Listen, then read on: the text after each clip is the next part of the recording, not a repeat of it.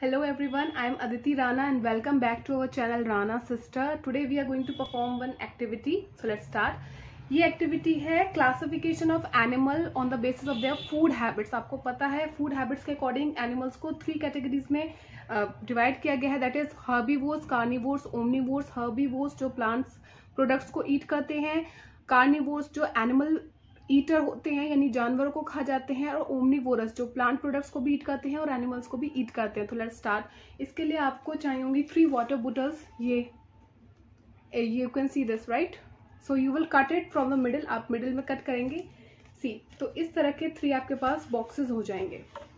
ये इसलिए है क्योंकि ये रीयूजेबल है। यूज़ करने के लिए तो आप प्लास्टिक कप भी यूज़ कर सकते हैं, लेकिन अगर आप फ़ैन ऑन करेंगे तो वो उड़ जाएँगे, दूर हो जाएँगे वेस्ट हो जाएगा। एक बार ही शायद आप यूज़ कर पाए, इसलिए हम थोड़ा ड्यूरेबल चीज़ ले रहे हैं, ठीक है? ये ड्यूरेबल हम बार बार यूज़ कर सकते हैं। Then you can make slip आप इस तरह की थ्री स्लिप्स बना सकते हैं, ठीक है? Herbivores carnivores omnivores and then you can paste it here with cello tape आप सेलो टेप से पेस्ट कर सकते हैं। मैं यहाँ पेस्ट नहीं कर बिकॉज़ अगर मैं करूँगी तो आपको वर्चुअली इरेक्ट दिखेगा, सही नहीं दिखेगा। तो मैं बस स्लिप डाल रही हूँ okay herbivores then carnivores and omnivores then you can take out such print out इस तरह का एक प्रिंट आउट आप ले सकते हैं। आपको दिखाई दे रहा है। इसमें एनिमल्स हैं पिक्चर्स हैं and then you can cut it जैसा कि जिन प्याजे कहते हैं कि बच्चा एक ऑब्जर्वर uh, होता है एक इन्वेंटर होता है वो खुद करके सीखता है right so you can give these pictures to the kids आप डिफरेंट बच्चों को डिफरेंट चिट्स दे सकते हैं।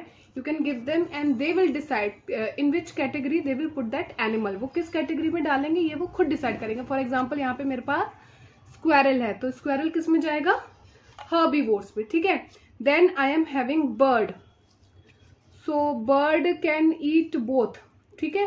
बर्ड्स वॉर्म्स को भी खाती है इंसेक्ट्स को भी खाती है प्लस अगर आप उसे चिड़िया को दाना देते हो तो वो भी खाती है तो वो आ जाएगी आपकी ओमनीवोर्स में okay next if I talk about crocodile so crocodile किसमें आएगा? ऑब्वियसली बात है क्रोकोडाइल, एप्पल बनाना ये सब नहीं खाता है, वो क्या है? वो एनिमल ईटर है तो वो आपका जाएगा ओमनीवोर्स में।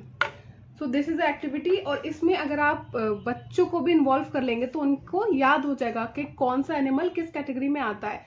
तो ये एक सेल्फ एक्टिविटी है, इस तरह के पेपर लेके आप सीजर की हाथ से कट कर सकते हैं in square shape then you can tell the child to do it by themselves वो खुद डिसाइड करेंगे किस एनिमल को उन्हें किस कैटेगरी में रखना है।